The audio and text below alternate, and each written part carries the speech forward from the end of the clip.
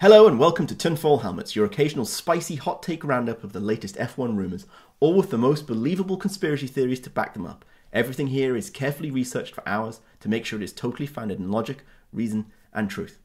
Or not. Who knows? So, Andrew, should we go straight into uh, Have We Got Anything Right? I mean, that's where we start. That's where we start. Uh, so, rain in Canada. It rained in Canada. Yeah. It did. It did not rain on race day. Yeah, not during the race. Uh, but we got uh, we got wet practice, we got broken CCTV practice, and we got wet quali in the way that always makes it so interesting, where it dries out or gets wet halfway through it and completely screws everybody's strategy. Yeah, and, and to be fair, I'm totally okay with like wet quali dry, dry race because you get the cars out of position and then you get kind of a little bit more of an exciting race. Indeed. Uh, second one on the list, Debris or Sargent will put it in the Wall of Champions. Oh, I was wrong. That did not happen. They didn't even bend it. I, I did like the AWS graphic though of Ocon was 11 centimeters away from hitting the Wall of Champions. I did. I, I thought that was great, and I feel like we need that at more tracks where this happens because I think that's it's it's almost enough. It's like it's like second to driver of the day who got the closest to it most consistently. I like that. I think we need more of that. Well then you had like monaco where max was like kissing the corners or the wall in every single yes. corner in sector oh, 3 was... it's like max is negative one centimeters away from the wall. Indeed. It's when you can move the wall and then you make it great for your next lap where you've got an even straighter line. Uh, number three perez will continue to repeat this period of last year by underperforming by breaking the car I was mostly right with this. He did not break the car. He was just terrible. Uh, he was just terrible. He lucked out, I think, in the end. I think he managed to. The strategy kind of worked for him. Uh, but yeah, pretty bad. Uh, so I'm going to continue to believe that he starts strong in the season, screws it up in the middle, and then peaks at the end, and we're all we'll all laugh for it. Does Montreal count as a street circuit? No, most people were saying it was not a street circuit. I think it should count as a street circuit because they counted Australia as a street circuit and Australia is just the same track. It's similar sort of vibes, isn't it? It's kind of like a, a purpose built circuit, but like during the not times they're racing, like normal people can go drive on it. I mean, I guess the Montreal roads lead to virtually nowhere. I think it's like a hiking, walking, biking trail. Uh, and, and you know, at least in Australia, you can go around the lake.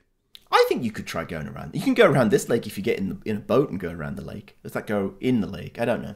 Uh, uh, anyway, I I couldn't find any raft race results. I think they canceled it with the rain. These people, they can't. You're already wet. Why does it make any difference? Exactly. Uh, next one on the list, Merc will be back in fifth and sixth. Uh, I was wrong. All right, uh, Dominic, how how well does Merc have to do for you to accept that these upgrades actually worked? Uh, I think both drivers need to be fighting each other for the top three places. I will accept that they maybe can't fight for it with Red Bull, but they have to be ahead of everybody else and they have to be able to do it for at least three races in a row. So I'll have to eat my hat after Austria. I, I just want to point out that Lewis said in the cooldown room that they are terrible in slow speed corners, and this track is filled with slow speed corners, and Austria is filled with high speed corners. Well, we'll find out, won't we? Uh, I, I, you know, I'm starting to, I'm starting to admit that maybe the upgrades have really worked. Um, but I, I, have a theory about that we'll talk about in the spicy takes. Uh, that is uh, makes this suggest that maybe it's not really the car. Um, next one I think was you, which was uh, Williams in the points. Yep, Alex Albon. Of course, not Logan Sargent, but Alex Albon getting up there. They passed Alpha Tauri now to be ninth in the championship. One really? Point, yep, one point behind Haas, two points behind Alfa Romeo. They're going to screw their tunnel time at this rate that is beautiful. But think about the money. Like Dorilton is finally going to be able to start, you know, reaping the rewards of having a team that's successful. So uh, that's I, I was surprised by the performance. We'll talk about in the race, but um, I would not have expected this, and it seems to be working out well for them. Uh, who had the comment of classic Alex Albon defending? Oh, that was great. We have to talk about that. That was James. That was James Vowles, and I wasn't quite sure what he said. Um, okay, next item: safety car. We yes. had a safety car. Was it? Was it two? One was we a VSC. A, we had a virtual safety car for Logan and we had a full safety car for George smacking a wall. Okay, shaking his ass and twerking it like a twerky thing. Okay, so that was all of our predictions. I think that was a that was a pretty good hit. We got one, two, three, four out of one, two, three, four, six. That's pretty good. That's a seventy-five percent hit rate. No, two thirds. I can't do math. I'm very bad at this. Uh, so that's pretty good. Let's. Have you considered a job in Ferrari strategy department? I have because I think I could be better than they are. Um, well, let's see. Let's see. Do they still have a job in our occasional segment? Does blah still have a job? I love this segment. It's my favorite Uh, Is segment. it? It's your favorite segment. Yeah. Uh, so uh, actually, I noticed we are missing a participant this week. That's interesting. But let, let's go through the list and discuss the participant that seems to be missing. The original creator of the segment. Uh, so we've got Nick. Nick DeVries. Uh, he actually raced. He seemed to actually be driving and fighting with people on the track. Straight down an escape. Yeah, and off the track, straight down the escape roads. Yeah, perfect. It's great. Uh, I was waiting to see when that happened whether there was going to be like, is was there a strategic play about if I take longer, maybe I'll convince the other driver to make take the long way around. Um, but yeah, I think that I, I don't know if it saved him, um, but it's at least finally seeing that he can actually maybe drive a race car. I, I think it's one of those things of like, and we can talk about it more in like the race recap, but like the Alphas not, or the the Alpha Tauris, like they are not the worst car on the grid, but but they do not have any pace to get into the points. Like they are just Uh, Otmar. Uh, I don't think there's anything to talk about Otmar this week. I, I, I think he might be safe. I'm not sure I like that. I don't really like Otmar. Uh, but he didn't do anything bad this week. His team didn't do anything bad this week. Um, and the team, the car seemed to drive, and it did a pretty reasonable. Maybe it was a bit unreliable, but it seemed to work. So he's definitely the hotel art of team principals. The hotel. Oh, I see what you're saying. Yes, I will agree with that. he he is uninspiring he but you know you're not going to be offended by him it, it's not going to be the best thing you've ever seen but like it'll work it, it decorates a wall Is it hotel art or is it IKEA art? i don't know about that That's a difficult call. they're they're, they're in the same vein though that's for certain Indeed. Uh, so, next is Does Lance still have a job? I think he's getting perilous at this point. yeah lance, lance stroll definitely still has a job i think the bigger question for this one is lawrence stroll the most disappointed father in his son on this father's day Yeah, I don't think he gave his father the gift that his father was hoping for. he did get points thanks to a lando norris penalty For unsportsmanlike conduct. I still don't know what that was about. Uh, but yeah, I think he's very disappointed, and I still think it's. Uh, I don't think Lance has done himself any favors. He might still have a job only because it's the family business, but it's getting close because at some point every family fires somebody. Yeah, that's I I don't know what they should do about Lance. I, I think I think the best option for some people is um actually I'll double down on this because I talked about it last week. I'll or last race. I'll say it again. I think Ferrari and Aston Martin should swap Charles and Lance. Sainz can be their number one driver, who they seem to want to be their number one driver. Lance is a former member of the Ferrari Driver Academy, so he goes in there. Aston Martin gets Charles and Fernando. I think that's great. Everybody wins. Lawrence doesn't have to fire his son, and then when Ferrari fires his son, he can be like, "Oh, I'm sorry, I don't have any open seats for you right now." Indeed, I think that is absolutely the best strategy. In some respects, I also think it might be the best to allow Lance to flower in his own um, environment rather than under the bright light of his parental concern. Yeah, and I mean, at the worst case, then uh, what? Aston has a hypercar at Le Mans, right? And we throw Lance in that. Indeed, uh, after Ferrari did quite well last week. Uh, speaking of Ferrari, uh, does Ferrari strategy team, does Ferrari, even as a whole team, still have a job?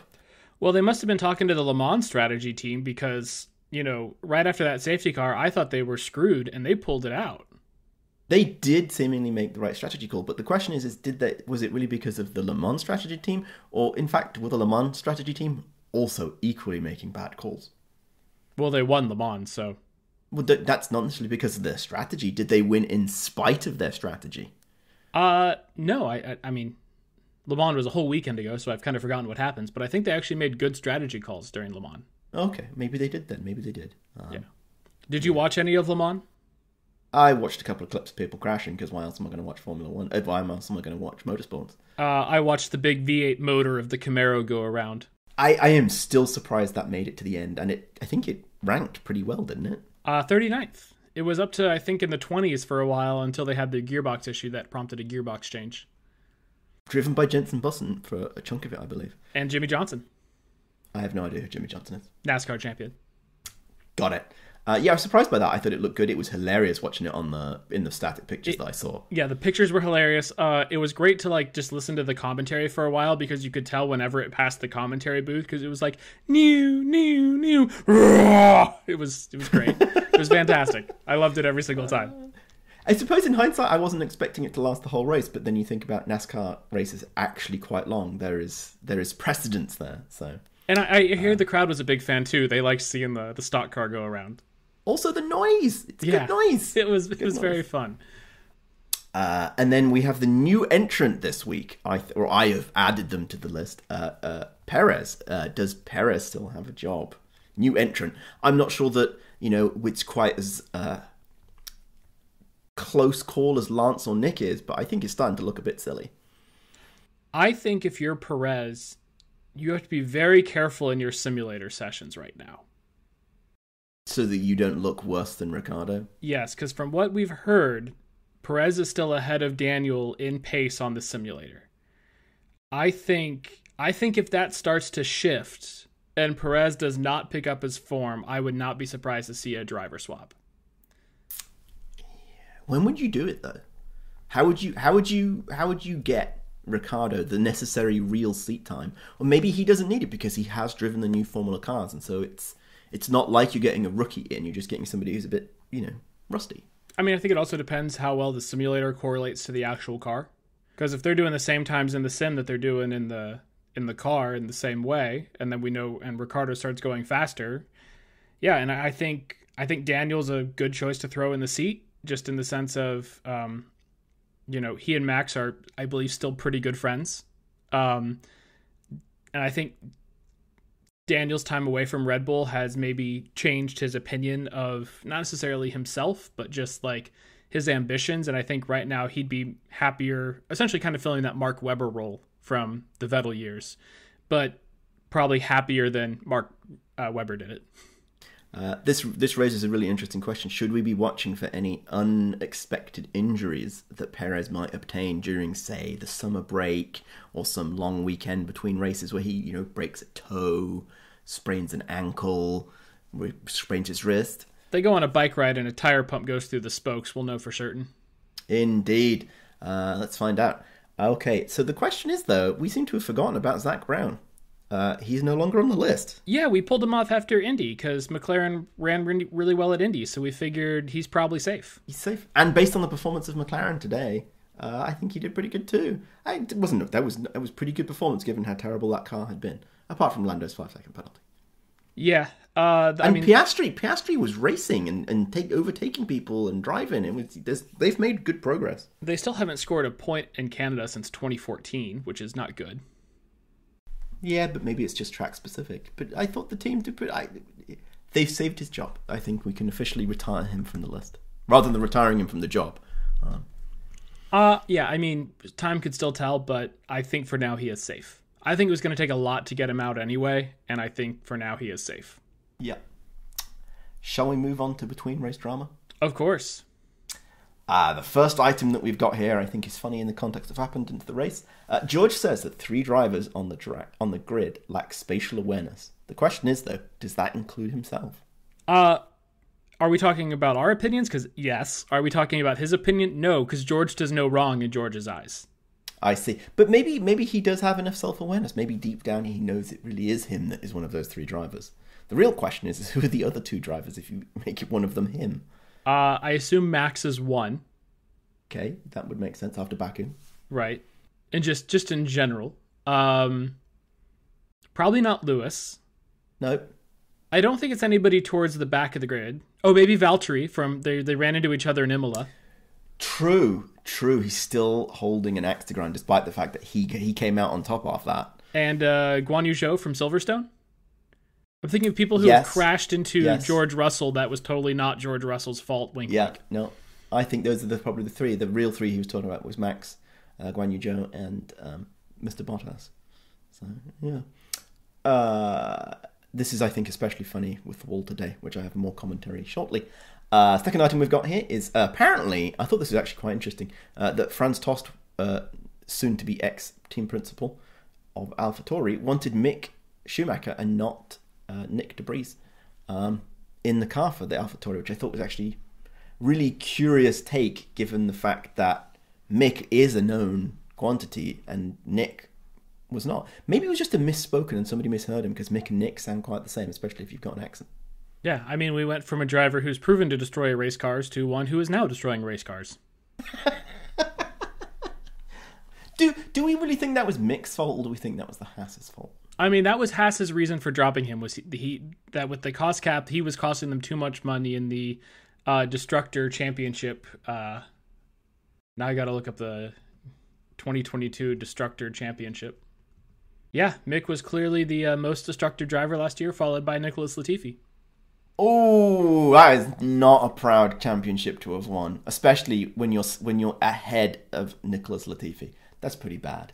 So maybe this maybe this is the right call. Uh, the the Red Bull Sporting team made the right choice and picked Debris because he's bent the car, but he hasn't bent the car. I think he's not even crashed it as much as Yuki did in his first season. Yuki was a solid ninth last year in the in the deconstructor championships. Yeah, 2021 he bent it a lot more. Uh, so uh, next item on our between waste drama: uh, Lewis and Shakira apparently have reached the meet cute stage of world domination. Uh, per the People, the headline was Shakira and Lewis Hamilton are in the early stages of dating. It's fun and flirty, says source. Uh, I think this is uh, the fact that it has bubbled up to the level of a People article uh, ironically, under the music section of entertainment, according to this screenshot, I'm not entirely sure whether that is because it's Shakira or because Lewis is a is a uh, uh, his own bona fide musical uh, entertainment star. Well, I would have to say I'm going to guess People does not have a, an athlete section. They, I think, are more music and entertainment. They must have a sports section for all the footballers. not the American People. I don't know about. Oh, I don't know whether this was American or British. It has PM in it, so who knows. Um, but I think that's interesting. Uh, you know, let's let's see how this goes. I have a theory about this in my spicy hot takes. Um, it is also important to be noted that apparently Tom Cruise's ego has been dented by Lewis Ham- Hamilton shacking up with Shakira. Um, and given that uh, Tom Cruise and Lewis Hamilton apparently were BFFs for the Formula One movie that they were making, uh, or that was being made, I wonder what this means. Uh, and especially, you don't want to get on the wrong side of Tom Cruise. He'll fly a plane at you, or just jump out of it and attack you because he does all his own stunts. I mean, obviously, wish wish Lewis and Shakira the best, but uh, is this just an angle for uh, for Lewis to get another featuring on a uh, on an album? Are we about to see the return of? Are we going to see the return of uh, Shakira featuring XNDA? I think there's a good chance. Who, who did he feature with previously? Uh, Christina Aguilera. Okay. Uh, next item. Uh, Helmut Marko keeps opening his mouth, and he should probably stop. Uh, he's been doing this for years. He's not going to stop now. I know, but it feels like it's getting particularly bad at the moment. Maybe it's because there's not a lot else going on, and whenever he opens his mouth, it's a good thing to be reporting on. I, I wouldn't be surprised if he's like pre-recorded like certain things, so like after he dies, we still get Helmut Marko hot takes. Yes, that I could see that being a believable thing. You know, like dripping them out slowly but surely. He's recorded a number of them, and they just pick whichever one happens to fit the narrative. Exactly. Yeah. That. Uh, the two that particularly popped up this week, for some context, is uh, the story that he apparently forbade Max Verstappen from taking part in the Nurburgring Red Bull demonstration uh, track thing that Sebastian Vettel is driving at. Uh, I, which I kind of under, I understand. I don't blame him for it. that. no, I don't blame him for that either. It's the fact that he keeps opening up about it. Uh, and then the second point was he talked about the pressure having been relieved on Perez. in effectively, but like Perez isn't a real person who has feelings too. Yeah, uh, to to go back to the Nurburgring, to be fair to Max, on the other hand, he could have the driver championship wrapped up by the time we they hit the the exploratory day on the Nurburgring. They and, could, yeah, they and could, then, and then and then maybe he gets to go he gets to go drive. That's how we get Danny Ric. It's Danny Ric and Perez because uh, Max managed to break his foot while driving around the Nurburgring. Uh, and then last but not least, uh, still no Lewis contract. Uh, especially this is most interesting because Toto at the end of Barcelona was the last race. Um, Toto was saying that the contract was days away. We'll be signing it imminently. Um, but here we are with Lewis a week later saying it is at least a month away. There is there is more going on here than meets the eye. I would like to apologize to if we have any German listeners or Austrian listeners uh, for that. Um, I I think this is a nothing burger.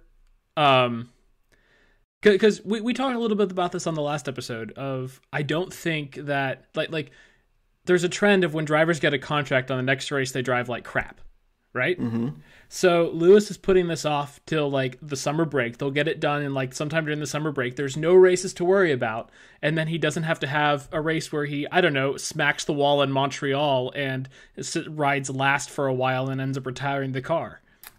That would never happen. Well, didn't uh, George got his uh George got his contract right? No, I don't think he renewed it because I think he's already still in term for another year. Oh, I thought I think his I contract. Uh, June 5th, George Russell's Mercedes contract extension uh, to be extended. His team locks him in. June 5th. Oh. They did do it on the break in, in between the last two races. They have extended George to 2025. Did they do that before Barcelona? Uh, June Yes, 5th. they did. They did. And he did terrible at Barcelona, did he not? Ooh, Daily Express. Lew- George Russell may force Lewis Hamilton to compromise on his massive Mercedes contract. Ooh, now it's about the money. Right. I'm pretty sure last time we went around on this, like in 2021, was it 2021? Whenever it was. And Lewis was like, well, I'll sign for a lot less money as long as you put it into something worthwhile. No, they can't put it into the car. They have a cost cap. True, but they they put it into um, diversity and inclusion initiatives and um, helping underrepresented minorities, etc., etc. They started a whole initiative and put some money into Mission 44, blah blah blah, etc., etc. All right, that, that's worthwhile. Okay, race recap. Uh, I thought this is a great start by Lewis. Looking at the replay, everybody had about the same uh, reaction time, which is pretty good because Lewis can sometimes be a bit slow. Uh, but I do wonder what happened to Alonso's car because it seemed like it got bogged down and it didn't really deliver for Nando. No, Nando definitely had the uh, the worst start in the second phase, as they, they always talk about on the commentary. Yeah, it was surprising, and uh, I thought Lewis did a good job getting in front, even despite that he got a bad start. That was pretty good. Uh, I thought George was real close.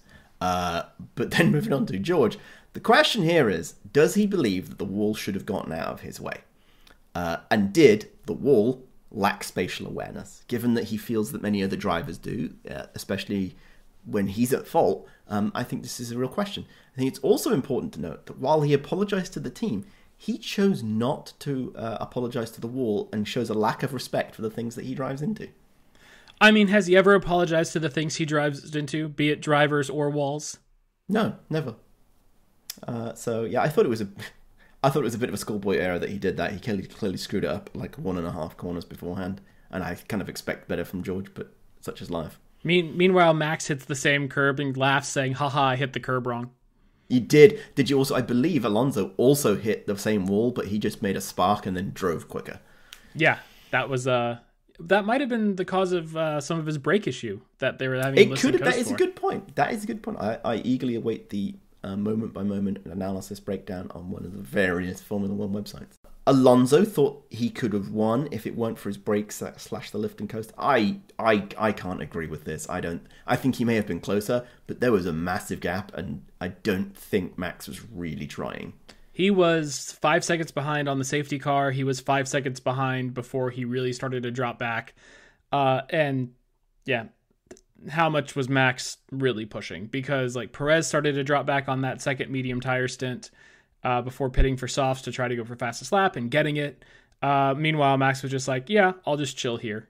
He did miss his third consecutive Grand Slam, not getting the fastest lap, but. In, indeed, I, I was trying to work out when I was w- watching the times change at the end because I reckoned he was going to put try and put the fastest lap in on lap sixty eight.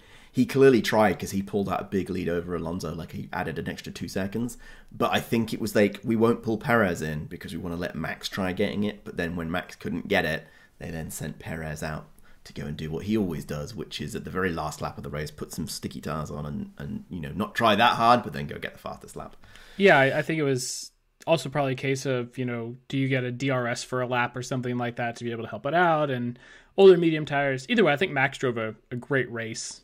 Uh, he's up to 225 consecutive laps led. If he leads every race in Austria or every lap in Austria, because I'm assuming the sprint laps don't count, um, he will be like eight laps behind Ascari for the record for most consecutive laps led. It's 304 is the record. Where does Lewis rank in this list? I don't think uh, I had it pulled up. Lewis is not on this list. That is surprising. Yes. It's Ascari uh, with 304 from like the 92 Belgian to the 92 Dutch. Then um, This is pretty fun. Uh, Senna did 264 between the 88 British Grand Prix and the 88 Italian Grand Prix. Then Senna again with 237 between the 89 uh, San Marino Grand Prix and the 89 US Grand Prix. Uh, and then Nigel Mansell at 235 and Sebastian Vettel at 205. So Maxwell a move ahead of Sebastian Vettel at this point in time. Interesting. I try, I wonder what that says about Lewis and his career to have not had the the consecutive laps led. Well, I think is it's also is it Merc's uh, strategy. I think Is it's it Merc's because the strategy because they always prioritize the first car, right? So how many times was he leading in a race with Valtteri close behind? They pit Lewis, then they pit Val or they pit Nico and then Val or Valtteri, and just he does so somebody leads for a lap while he's in the pits, and then yeah. So I think it's just kind of a it, it's one of those kind of I think oddball records of like everything has to go your way. Yes, yes. And you, I think you need a favourable win from the rest of your team. I think as well, per your point that you've just made. Yeah. Uh, and then on top of that, like, you know, how many we've seen times before where, you know, somebody stays out and is leading for the safety car while everybody else pits and in 10 laps after the safety car they're falling back through the field. So it, it's a bit of a it's a bit of a no nothing record compared to like say um race victories in a row. But it's it's fun. I, I'm always a fan of the random records. It is very much a baseball-like stat. Yes. It, it's the quality starts of uh of Formula One. Uh, okay, next item. Uh, Williams took a bunch of updates and they seem to have worked. Is this the beginning of the Williams resurgence? I hope so. I mean, it's a good blue car. I think Alex is a great driver. Uh, he was definitely my vote for driver of the day today, and he won driver of the day, and I think he deserved it. He also recently had his contract renewed. So, put is the curse gone? I mean, is Alex ever cursed? Yes, he drove a Red Bull. That's fair. Just to quickly touch on Alex again, like, I mean, uh, what James had the comment of the classic uh, Alex Albon defending, which we haven't heard before, but thinking back on it, there is some very classic Alex Albon defending of like, I'm just gonna lead this DRS train around in my slippery car and finish in the points. like he's done this multiple times now. And and he seems to be able to do it with a certain calmness that I think other drivers in a similar position would not be. Like he accepts his fate in that the car won't go forward, but he can stop it from going backwards. Yeah, he's he's like this thing is slippery. I'm just gonna park it on every apex because like you watch some of the, him coming out of like the hairpin down the back straight, and he just like parked it in such a way that Ocon could not get a good acceleration compared to what he got. And then even with DRS, he just wasn't caught up by the time they hit the chicane. So it was just this. Uh, Alex knew exactly where to put his car throughout the the whole lap, and yeah, it's one of those of I don't care what my lap time is anymore. You're just not coming by. Is it maybe that the thing that really has saved Williams is Alex because he's given them the confidence that they can have a driver that will um, put them in the places where maybe the car isn't justified in being, but that it could reach for, versus the other second drivers that they they've had in the past, Nicholas Latifi, uh, who has been unable to to do that. I mean, I think George had done it a few times, but I think the car was truly truly terrible then. But they have an o- not an okay car. They have a car that that is closer to the field than maybe it has been in previous years, and Alex is really the thing that's giving them the confidence and bringing up the morale. I mean, I always think that uh, that Alex got kind of a, a very short straw on the Red Bull side of things. And you know when he sat out a year, I'm happy to see him in the Williams. I- William, he's probably like the best driver Williams could have ever gotten. That's not like part of some sort of driver academy situation because you know people were didn't want to take a risk on him after the whole Red Bull situation, and I totally understand. But like yeah, you can't think of like your driver combination being Logan Sargent, Nicholas Latifi. Like that's not gonna go well. Oh, that would have been terrible. It's a bit like Haas, really, because I think they've got they've, they've got a similar problem of two not good enough drivers. Yeah, but I, I think I think Alex is definitely for I mean, he deserves a spot on the F1 grid. I'm happy to see him get it. Uh, you know, at Williams moving forward could be good. It would be amazing to see what Alex could do in a top flight car again. Like Is maybe that the correct replacement for Perez? You put in Danny Ricciardo for the rest of the season just because he's right there, and then you get ready to take um, Alex Albon, by him out of his Williams contract, and put him back in again, and he's willing to accept his position as a second player. I, I don't know because I, I think some cases of what hurt Alex last time was that car can so, sometimes be so set up for Max that like you either have to know how to drive it or you don't. And I think that's one thing where like Danny Rick's already been in the situation where they're starting to set up the car for Max, and he so he I think has somewhat of a similar driving style. I could see Alex being more of a replacement for like Lewis when Lewis finally decides to to roll away and be partnered with his BFF George Russell. And then they will no longer be BFFs. I mean, what is Mercedes for if not ruining friendships? True, true. Who other friendship did they remove? Uh, ruin. Uh, Hamilton and Rosberg. No, no, but you, yeah, that's that's one. Who else is have they have they hurt, or is that just so big it doesn't matter about any others? I mean, that's just, that's just so big. That's the next thing. I see. It didn't ruin. Uh, if anything, it brought uh, Lewis and Valtteri closer together. They're now best friends. True, true. Do you think it brought Schumacher and Rosberg closer together? Uh, I don't know. Great question to ask. Uh, we will never know the answer, sadly. Uh, I have I haven't answered for you, but I don't want it in the podcast. Okay, great. We'll talk about that afterwards. You can text that to me. uh, okay, next item on the race recap. Ferrari called the right strat for once, and it seemed to actually pay off for them. I know we talked a little bit about this early earlier, but I think it was the question really is: Did Ferrari whiff it at the safety car, and then it just happened to luck out for them, or did they have a really meaningful plan where they're like, "We understand what this car and the tire mean together, we know what we should do and we're going to stay out. Like if it was intentional, man, that's a great call from them. If it was just the fact that Ferrari whiffed it and it netted out, okay, that's not a good call. And I don't think I, I just don't know which one it was. I will say they lucked into this good call because of their terrible calls on Saturday. I see. I see. So essentially, thinking back to qualifying, which we haven't spent much time talking about, if any, um, you know, Alex Albon, to go back to him again, um, slapped on the soft tires at just the right time. Fastest in Q, fastest was... in Q2 was great. But on on that in lap, Charles or on that out lap, Charles was saying it's too dry for inters. We should put softs on. Do you want do you want me to do this lap or should we just come in and put softs on? And Xavi was no no no. Uh, put we're gonna we want to do a banker lap and then we'll come in and put softs on. And uh, to Xavi's credit, if he gets one other job at Ferrari, it should be the Ferrari weatherman because he had the right radar calls. He said it's going to start raining heavier in six to seven minutes, and sure enough, with about that much time left in the session, it was raining heavier. I mean, Xavi nailed the radar calls, and it's interesting that he couldn't correlate that with how much time it takes to like do an out lap, do a timed lap, do an in lap, change tires, do an out lap, do a time lap, and like, oh crap, now we're to six or seven minutes with heavier rain. So so yeah, uh, but you end up in this situation where then because of that, and uh, Carlos Sainz was able to put somewhat of a lap together on the softs better than than Charles was. I think he was ahead of him too, so he would have had slightly better track position or track conditions. Um, but they started at the back or at the back of the top ten essentially because uh, somehow Sainz only got a three place grid penalty for blocking four cars. Um, and not not just blocking four cars, blocking them repeatedly in exactly the same way, in exactly the same place. Yeah, it's ridiculous. Yeah, lovely. Um, but I think they realized that there was that DRS train that was forming before the safety car. They knew that it was going to be a struggle if they stayed in that train. And so they said, well, let's just, we think we can eke out the media. They don't think, I mean, what? Canada's somewhat easy on tires, but also not.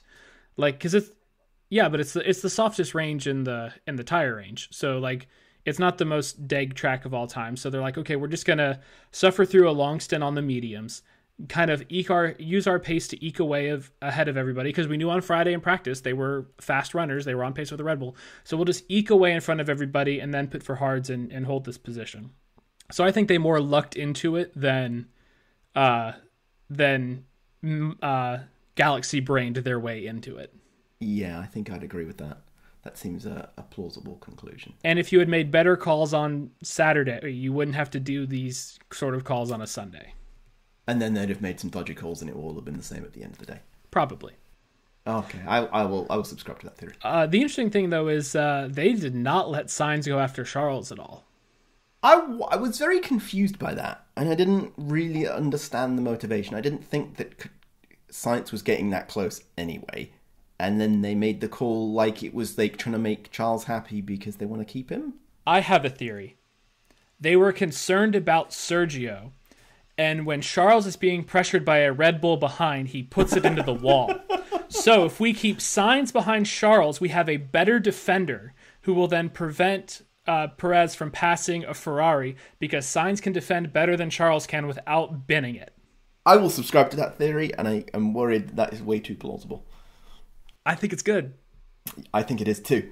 Uh, okay, so this is this is rather rather than a race recap, it's more a commentary on the race. Uh, I thought the midfield on track is way too close. Uh, there is no differentiation between everything after the top three and maybe the bottom two, um, which means that they can't find the weakness of another t- uh, in a different part of the track relative to other cars and then exploit it. And this means that they just go around and around in a train until they get tired and somebody bins it.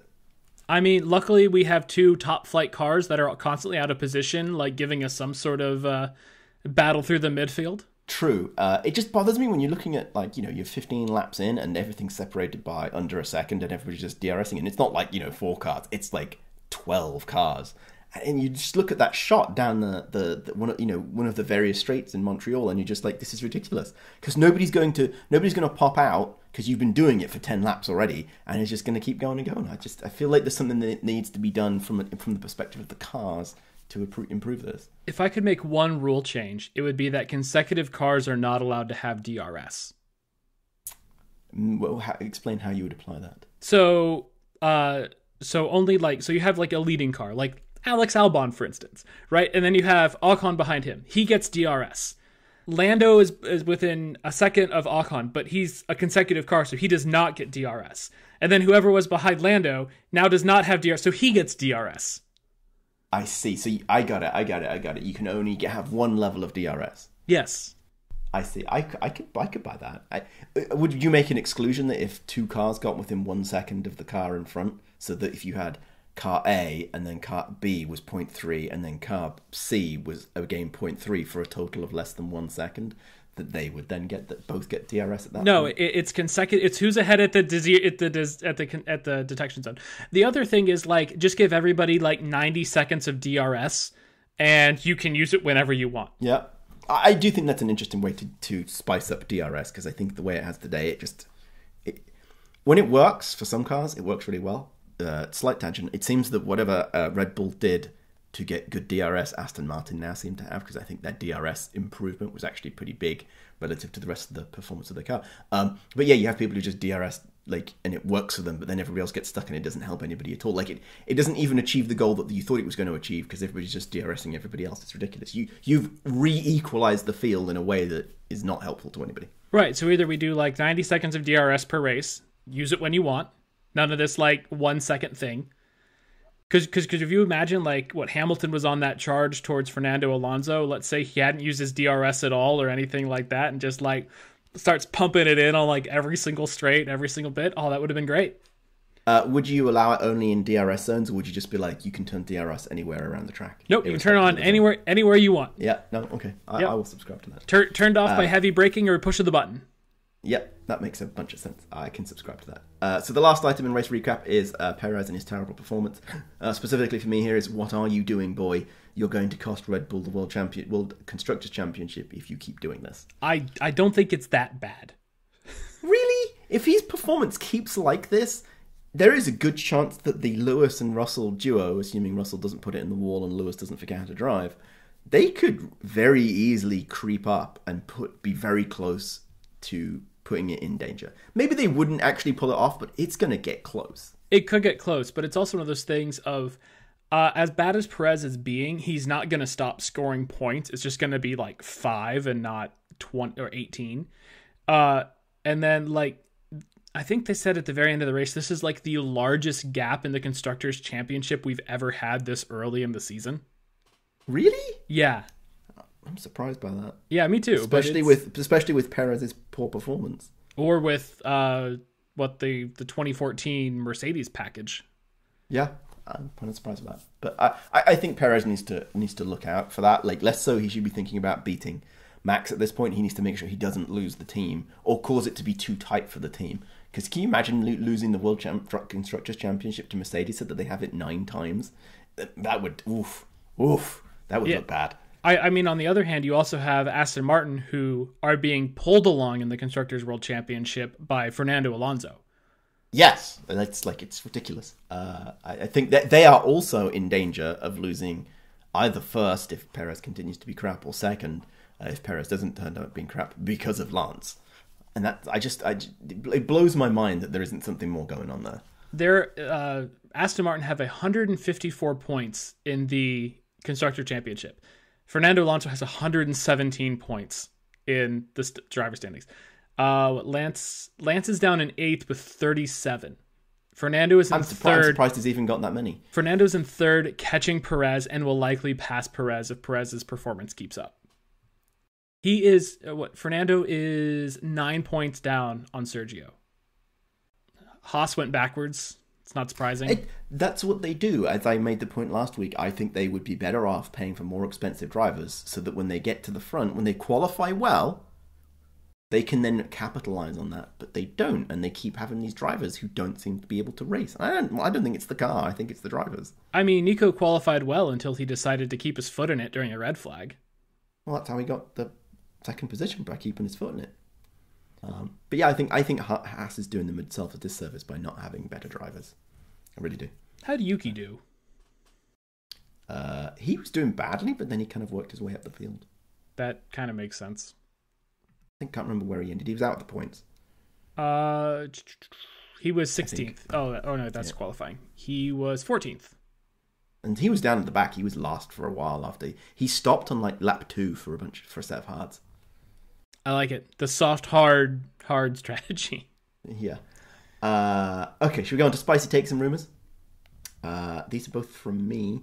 Uh, the first one is I think, and we probably should do a recap as we get close or get back from the summer break. Um, but for the think for the first time in quite a number of years, there is going to be some driver swaps on track this year. Uh, specifically, I think the three most at risk are Perez for somebody, Ricciardo we've talked about, uh, Lance for someone I have no idea who, uh, and Nyck for literally anyone else. Um, I think there is a grave danger that that could happen for each of those. I think Lance is probably the least likely, but we've got we've got what four more races before the summer break, and I think there's going to be something that's going to happen between one of those three. Is the relationship between Aston Martin and Mercedes good enough that Mick Schumacher gets tossed in for Lance? You know, that's really interesting, given that supposedly that was Vettel's choice. Was that that was the um, that was the hope that Vettel had when he gave up his seat, and instead Fernando took it. But I think Yeah. that's interesting. Is that is that Vettel's brain or Vettel's heart though? Because he he I mean he was His heart, his heart, clearly. That's all he is now. Nothing, Vettel is nothing but heart. Um, but I I think there is a distinct possibility, and I like that theory that maybe Lance gets swapped out for, um, especially if he hurts his hands again. Oh, sounds a bit suspicious. Uh, I think that could be something that could happen. Yeah just just when everybody starts inviting when Lance gets a bunch of uh, mountain biking invitations over the summer break, we'll know uh, we'll know the we'll, we'll know L plan is in effect. Normally, I'd suggest that Fernando Alonso was about to invite him on a bike race and then shove him over and break him, but Lance is no, no, not competing. It is in Fernando's best interest to make sure nobody who is able to drive a car gets put into that seat, because then he doesn't have to deal with the problem.